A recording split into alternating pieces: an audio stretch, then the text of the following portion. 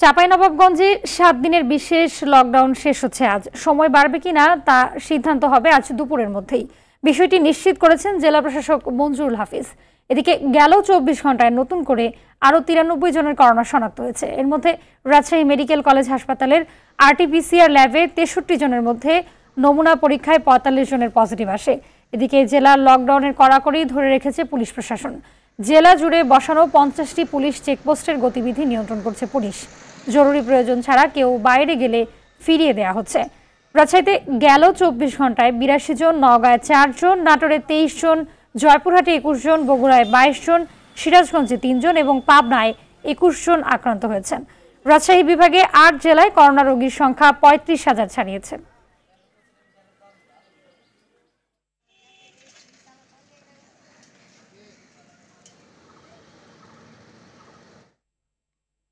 চাঁপাইনবাবগঞ্জের করোনা ও লকডাউন পরিস্থিতি জানাতে সরাসরি যুক্ত হচ্ছেন সহকর্মী আব্দুর রব নাহিদ। নাহিদ চাঁপাইনবাবগঞ্জের করোনা সংক্রমণ বেড়েই চলেছে, তো সংক্রমণ রোধে প্রশাসনের উদ্যোগ কতটা দেখছেন? কি দেখছেন কার্যকর উদ্যোগ?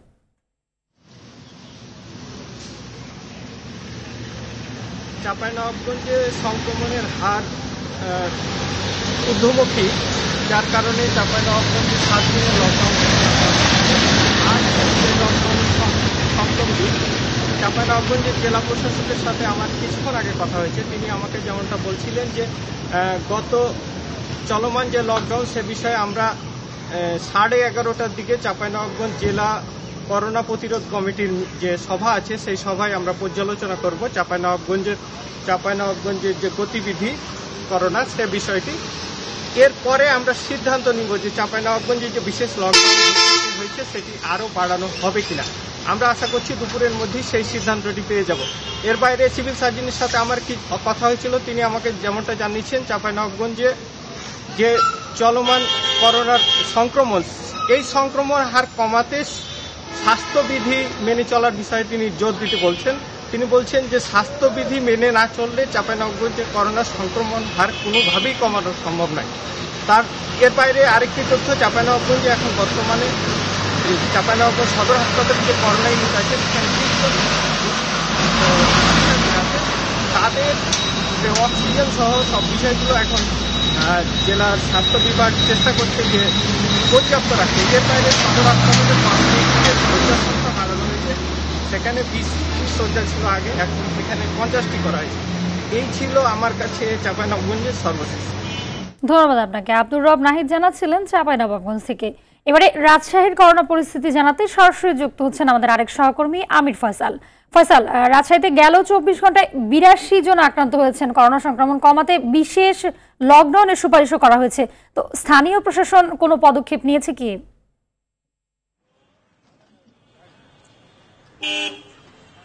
জি, হাবিবা, আপনি যেমনটি বলছিলেন যে রাজশাহীতে বিশেষ লকডাউনের সম্ভাবনা রয়েছে। এ ব্যাপারে আমাদের civil surgeon Rajshahi medical college হাসপাতাল এবং রাজশাহী ডিসি অফিস এনারা সবাই সমন্বয় করছেন এবং সমন্বয়ের প্রেক্ষিতে ওনারা ওনাদের সুপারিশ যেটা, সেটা স্বাস্থ্য মন্ত্রণালয়ে প্রেরণ করেছেন। সেই স্বাস্থ্য মন্ত্রণালয়ে প্রেরণের ফলে তাদের অপেক্ষায় আছেন যে তারা কখন এই বিশেষ লকডাউনের ঘোষণাটা প্রদান করেন। এর পাশাপাশি বলে রাখা ভালো যে গেল চব্বিশ ঘন্টায় রাজশাহী মেডিকেল কলেজ হাসপাতালে চারজন করোনা পজিটিভ হয়ে মৃত্যুবরণ করেছেন।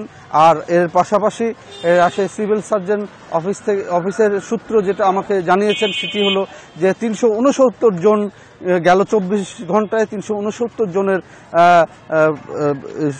পরীক্ষা করা হয়েছে করোনা এবং সেই তিনশো উনসত্তর জনের মধ্যে একশো সতেরো জন করোনায় পজিটিভ এসেছে। ফলে এখানে বলা যায় যে একত্রিশ তিরিশ পয়েন্ট পাঁচ শতাংশ এখানে বৃদ্ধি পেয়েছে এই করোনা পরীক্ষা বিবেচনায়।